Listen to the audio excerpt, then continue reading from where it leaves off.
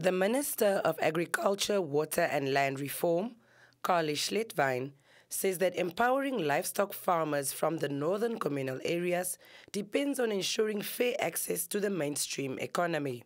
To make this possible, Schlettwein says the ministry is entering into an agreement with Meatco to provide access, information, and support to farmers in the northern communal areas through the Rundu and Katima abattoirs. Schlettwein made these remarks at the signing of the cooperation agreement between the ministry and Meatco in Rundu last week. Government has, is now seized with implementation of a targeted set of measures to nullify the effects of the veterinary cordon fence by enabling broad-based market access for communal farmers in the NCA to domestic markets south of the northern of the veterinary cordon fence, but also to export destinations like China, the Middle East, and Africa.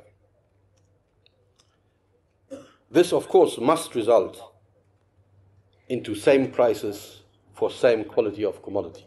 The commercial principle of farmers only get what the middleman, the abattoirs, can get in the market is not acceptable in this case. We are one economy, we are one group of farmers, and farmers must get the same price for the same commodity all around.